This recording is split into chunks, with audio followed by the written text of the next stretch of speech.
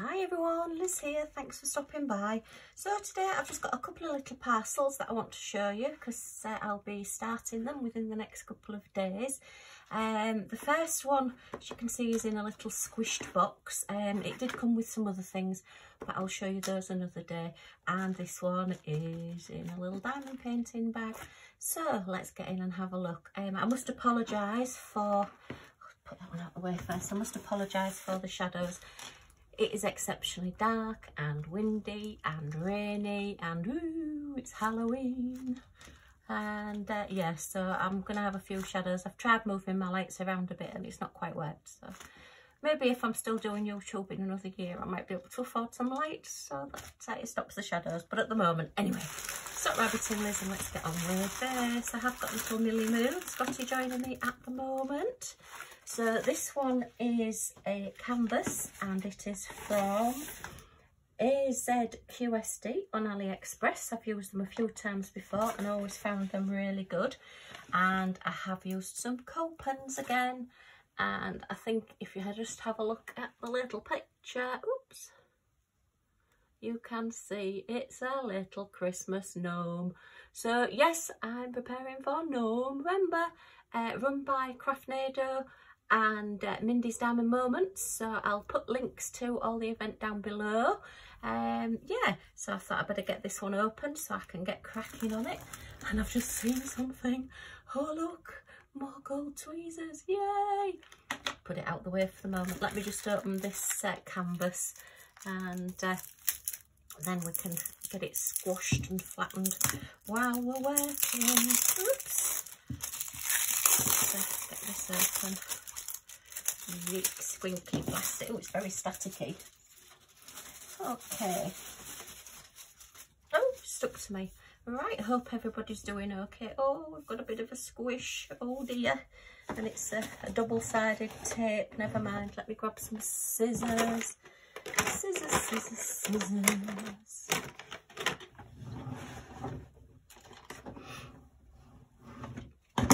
Tidied my uh, desk drawer out, can't you tell? So I can't find anything now. In fact, I've been tidying all my diamond paintings up and getting all my Christmas ones out. And I've been tidying all my boxes out so that I've got poured glue in one and double-sided tape in another. And I've got quite organised this morning. But I thought, oh heck, I need to get this video done so that uh, I can get started. It is the 1st of November tomorrow. Okay, let's just Oh, we have got a very, very big crease down the middle. It's a very soft canvas. And it's, yeah, I won't be able to iron this one. It's like that cloth sort of thick canvas. Oops. I hope it don't want to play, look. And is that crease right where there's a fold in the, oh, it is, look. Oh, why do they do this? Why, why, why?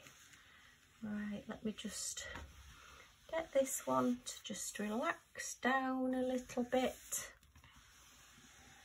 and get it to just flatten. Okay, so yeah, we have a little Christmas gnome. He's a 30 by 30 and he's 30 colours, so he's quite a happy little chap. I just thought he was quite nice. So I still blame Mindy for all these gnomes. I was never going to get any gnomes and didn't want gnomes. And then there we are. Oh, and if you can hear any music in the background, that's the ice cream van. I tell you, there's a button underneath my desk that as soon as I start videoing, people start arriving, things start happening. So just going by the underneath, the size of this one is about 29 centimetres, which is 11 and a half inches. I'm actually going from the dark drill area. I'm not sure whether it's got a border, it may have.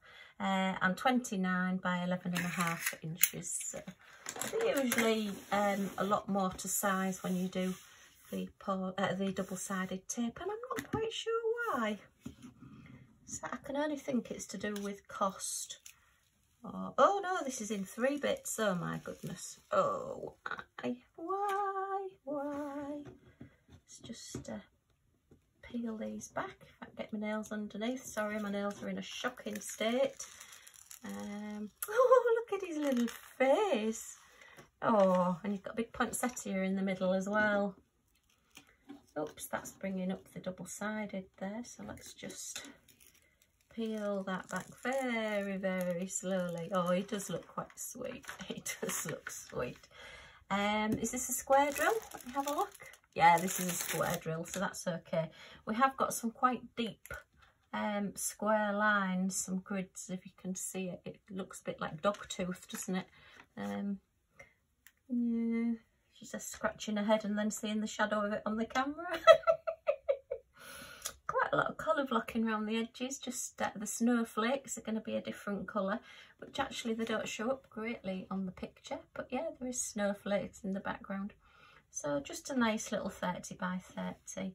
Um, I just thought it just called out to me. And with postage and taxes on it, this one cost me £3.48. So I thought for £3, well, £3.50 roughly, hey, why not? Let's have a gnome. And he is quite happy weaving, woo! I'll be doing the royal wave there. So yeah, it's a little bit of green there, a lot of red. Yeah, I think he's quite cute. So I don't know whether I'll get all these done, but we're going to have a good go because I'm going to have to start doing my Christmas ones. I still haven't started my Santa train yet, if you saw the unboxing of my big canvas, which was the Santa train. I really don't like it when they put them in threes because you just get a ridge. And then to have this one where it's actually bent slightly on the ridge. But we'll have a go. Um, I'll maybe do some tips and tricks because I, I, am finding that even though a square canvas, sorry, a square, it is a square, a double-sided tape canvas does have rivers and things, you can actually, if you watch what you're doing and take uh, quite care of it, um, you can get over the fact that there are these bumps and things. And if you're going to frame it afterwards or put it in a portfolio, then it is going to be flat and you don't really see them. It is just unfortunate that it, if it leaves a non-sticky patch or it leaves something underneath and you start getting bumps under your canvas, that the drills then start knocking together more and they start popping um, and that's when you use one of those rollers and you get that click, click, click, click, click, click, all the way across. Okay, so yeah, look, you can see that's quite, that's right where that piece of um, the cover sheet for the double-sided tape is. It's gone right the way down. But we're going to have a go with that. I say I may try ironing it or I may try my hair straighteners um, oops, there's a bubble there, just try and get that But the rest of it, because it's this soft canvas, is very, very smooth. Uh, yeah, okay, I think he'll be okay. I think we'll do all right with this. Oh, let's have a look at this toolkit. If you send me gold good tweezers, you can make up for everything. The only sort I've not got now is the pink ones. I want some pink tweezers. I'll have to order from one of the companies that does the pink tweezers. Okay, so it's a pretty good toolkit. Cold tweezers. Do, do, do. okay, they are the very, uh, oh, Millie's just having a shuffle around. They are the very sharp ones, so just be careful um, that you keep the little thing on them all the time. So it is just sort of common sense. Um, but yeah, if that comes off and you just happen to be rummaging in somewhere, they can stick in you and it's not pleasant. Uh, it's a single placer and one of the new four places on the end there of your uh, little pen. Oops, get a bit closer there, that's better. My camera's a lot further away today, I'm not quite sure why, but hey ho, it's just the way it's set up and I'm not moving it now. It's apt to collapse if I start moving it while I'm filming. Uh, you've got your little pen grip there as well, which, god blimey, that really has got a grip on it. Okay, so that's, uh, yeah, just your basic. You've got two um, big rectangles of wax there. Oh, and I've got a 10 placer. Does it say 10 on it? They've started bringing these out. And I don't know if anybody else has noticed, they are the thin ones, but these are that really soft, bendy plastic. They used to be in that really nice sort of rigid, hard plastic.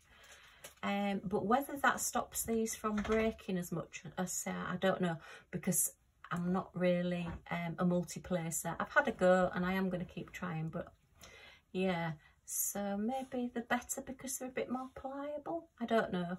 Um, if somebody uses these, let me know. But yeah, definitely they're doing them like a, a softer plastic that bends. And I suspect this tray is as well. Yeah, look at that. That tray is bending out quite a bit if you can see that on camera. They're like a softer tray as well rather than the hard rigid plastic. Mm. wonder if this is a new trend that they're starting. They've got a new manufacturer or something. Uh, I suppose as long as, oh, I don't know though, because I tend to grip quite hard. I don't know.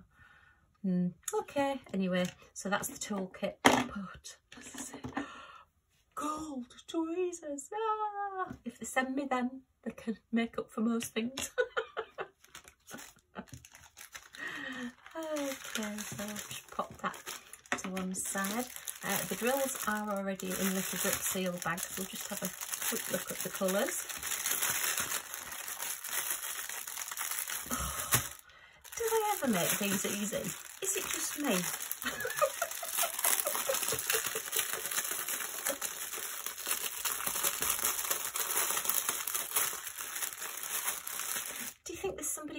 That sits there and thinks, ha, I'll hide this end just under here so it takes them ages to find it.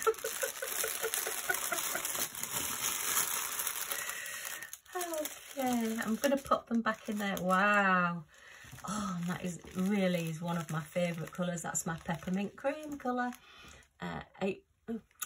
Look, I'm doing it again. 3756. That's probably how many drills are actually in the packet. Oh, do you know, when I did that B5 200s, the canvas number, I'm still laughing about that now. Ah, oh dear, nobody said I was professional at this. but yeah, I love that peppermint green colour. Really, really fresh. Like a off-white greeny colour. So that's going to be the background. So that's a hit with me for starters. But that is a big bag.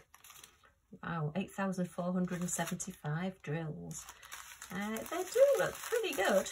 Uh, we've got a little escapee in there, look a blue one that's decided he wants to be a peppermint cream, but I'm not particularly seeing any um, edges or bits of trash or anything in here.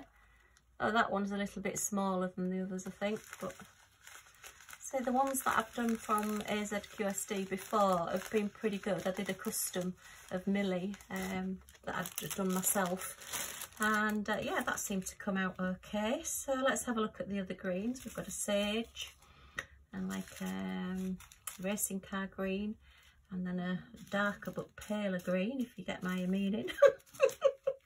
And then a couple of grey greeny blue colours. Okay keep putting these in.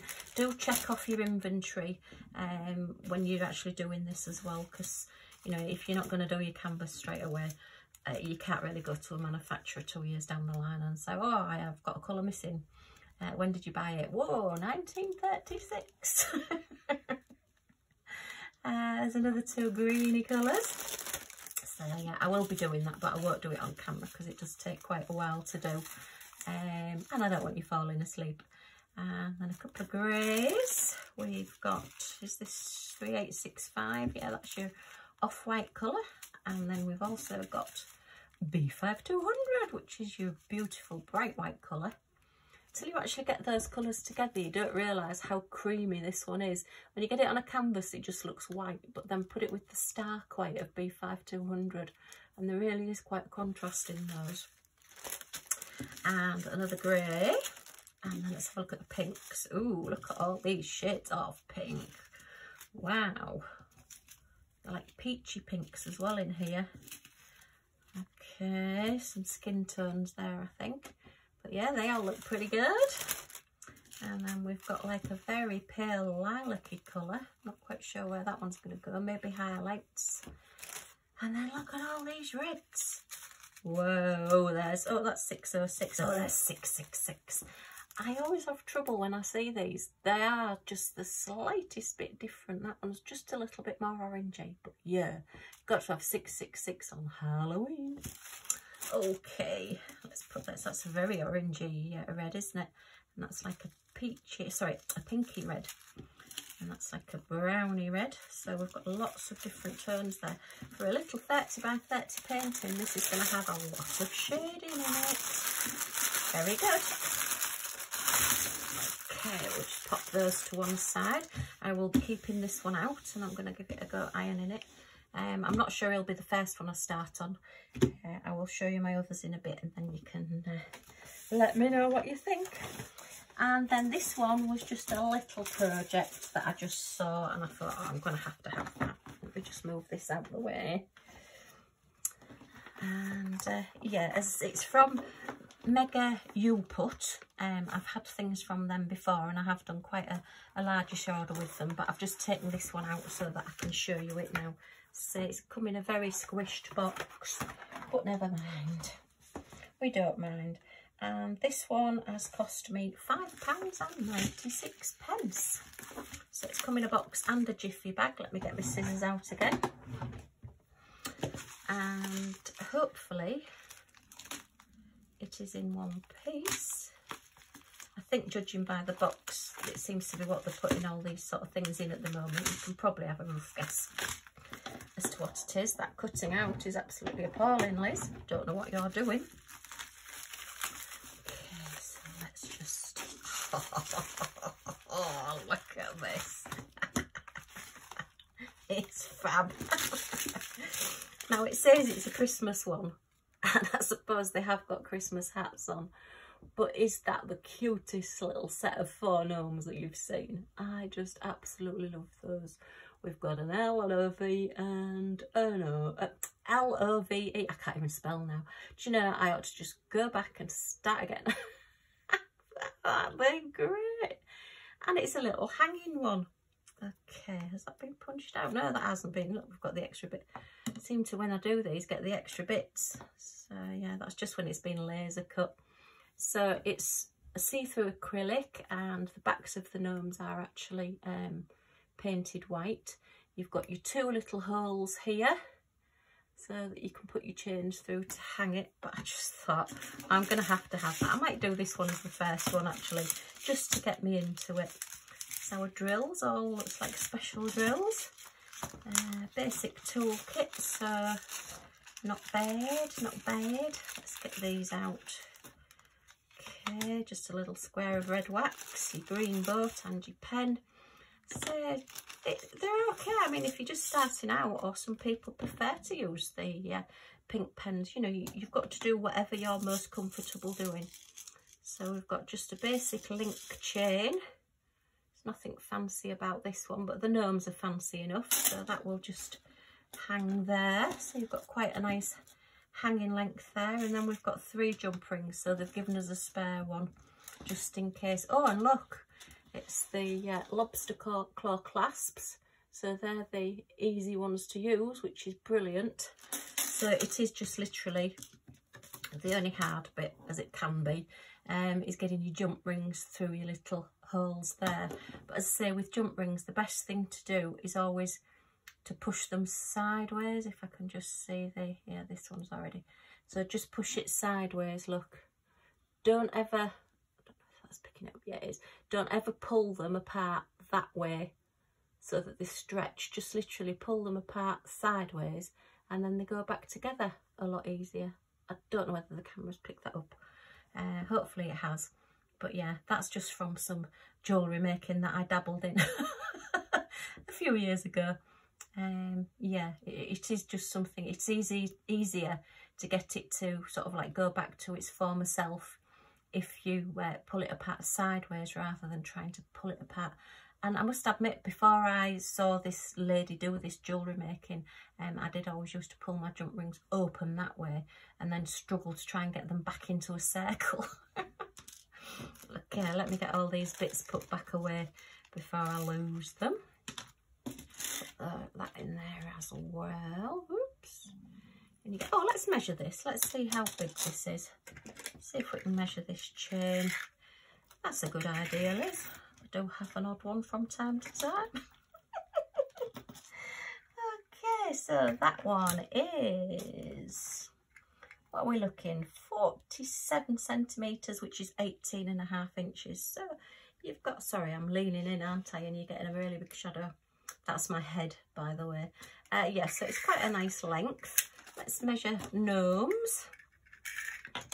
And it is uh, oh, 19 centimetres, which is seven and a half inches that way. And we'll go to the top of the hat on this one. So it's six inches, which is 15 centimetres that way. So it's quite a nice little size. Nothing too big, but I think it would definitely bring a smile to somebody's face if they walk in your house and see that hung up somewhere. Um, I mean, say they've, they've sold it as a Christmas one, but to me that's Hal uh, Halloween. got Halloween on the brain. Uh, to me that's Valentine's. I think that will go out on a display for Valentine's Day. Okay, so let me get this put in here as I said. Oops, and let me just get a little bag to put him in. And they won't be going away because from 1st of November it is November and that's what we're going to be doing. Lots and lots of gnome paintings. Just pop that away in there seal that up. I've not got as many gnomes as maybe some people, but I've got quite a few as you've seen. So that's two of them. What's that there? Oh, that's that bit of plastic. Do you know? Oh, dear Liz. Get a grip, girl. Get a grip. Oh, right, I'll do that in a bit. Let me just get rid of those bits over there. And then just before I go,